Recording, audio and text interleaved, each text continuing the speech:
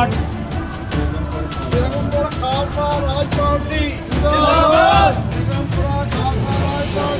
ਅਸਪੁਰ ਲੋਕ ਸਭਾ ਹਲਕੇ 'ਚ ਅੱਜ ਬੇਗਮਪੁਰਾ ਖਾਲਸਾ ਰਾਜ ਪਾਰਟੀ ਨੂੰ ਉਸ ਵੱਡਾ ਸਿਆਸੀ ਹੁੰਗਾਰਾ ਮਿਲਿਆ ਜਦੋਂ ਸ਼੍ਰੋਮਣੀ ਅਕਾਲੀ ਦਲ ਬਾਦਲ ਦੇ ਲੀਗਲ ਸੈੱਲ ਦੇ ਮੀਤ ਪ੍ਰਧਾਨ ਰਹਿ ਚੁੱਕੇ ਐਡਵੋਕੇਟ ਇੰਦਰਜੀਤ ਸਿੰਘ ਅੱਜ ਬੇਗਮਪੁਰਾ ਖਾਲਸਾ ਰਾਜ ਪਾਰਟੀ 'ਚ ਸ਼ਾਮਲ ਹੋਏ ਹਨ ਜਿਨ੍ਹਾਂ ਦਾ ਗੁਰਿੰਦਰ ਸਿੰਘ ਬਾਜਵਾ ਨੇ ਨਿੱਘਾ ਸਵਾਗਤ ਕੀਤਾ ਹੈ। ਮੇਰਾ ਇੰਦਰਜੀਤ ਸਿੰਘ ਬਾਜਵਾ ਐਡਵੋਕੇਟ ਮੈਂ ਸ਼੍ਰੋਮਣੀ ਅਕਾਲੀ ਦਲ ਬਾਦਲ ਦਾ ਲੀਗਲ ਸੈੱਲ ਦਾ ਬੀਜਦਾਰ ਰਿਹਾ ਉਹਦੇ ਬਾਅਦ ਅਸੀਂ ਸ਼੍ਰੋਮਣੀ ਅਕਾਲੀ ਦਲ ਟਕਸਾਲੀ ਜੁਆਇਨ ਕੀਤੀ ਹੈ ਮੈਂ ਤੇ ਗੁਰਿੰਦਰ ਸਿੰਘ ਬਾਜਵਾ ਇਕੱਠੇ ਹੀ ਅਕਾਲੀ ਦਲ ਛੱਡ ਕੇ ਕੀਤੀ ਸੀ। ਅਕਾਲੀ ਦਲ ਦਲ ਅਕਾਲੀ ਦਲ ਬਾਦਲ ਨੂੰ ਇਸ ਲਈ ਛੱਡਿਆ ਗਿਆ ਸੀ ਕਿ ਇਹ ਪਰਿਵਾਰ ਦੀ ਇੱਕ ਪਾਰਟੀ ਬਣ ਕੇ ਰਹਿ ਗਈ। ਤੇ ਇਹਨਾਂ ਦਾ ਸਿਰਫ ਮੁੱਖ ਜਿਹੜਾ ਮੰਤਵ ਹੈ ਸਿਰਫ ਕੁਰਸੀ ਪ੍ਰਾਪਤ ਕਰਨਾ। ਇਹ ਵਪਾਰੀ ਲੋਕ ਸੀਗੇ। ਇਹ ਲੋਕਾਂ ਨੂੰ ਨਾ ਕੰਮ ਕਰਦੇ, ਇੰਨੀਆਂ ਸਹੂਲਤਾਂ ਦੇ ਜਿਹਨਾਂ ਨਾਲ ਵੋਟਾਂ ਲਿਆ ਸੀ।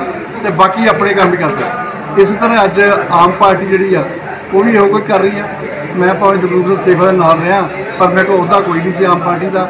ਅੱਜ ਮੈਂ ਪਾਰਟੀ ਜੁਆਇਨ ਕਰਕੇ ਮੈਨੂੰ ਇਹ ਖੁਸ਼ੀ ਆ ਕਿ ਮੈਂ ਆਪਣੀ ਜ਼ਮੀਨ ਦੀ ਗੱਲ ਕਰ ਸਕਾਂਗਾ ਤੇ ਮੈਂ ਸ਼੍ਰੋਮਣੀ ਅਕਾਲੀ ਦਲ, ਮੈਂ ਬੇਗਮਪੁਰਾ ਪਾਰਟੀ ਦੀ ਖਾਲਸਾ ਰਾਜ ਪਾਰਟੀ ਦੀ ਆਪਣੀ ਤਨਦੇਹੀ ਨਾਲ ਕੰਮ ਕਰਾਂਗਾ। ਵਾਹਿਗੁਰੂ ਖਾਲਸਾ, ਵਾਹਿਗੁਰੂ ਜੀ ਗੁਰਦਾਸਪੁਰ ਤੋਂ ਮਨਜਿੰਦਰ ਸਿੰਘ ਸੰਧੂ ਦੀ ਰਿਪੋਰਟ, ਪੰਜਾਬ ਟੁਡੇ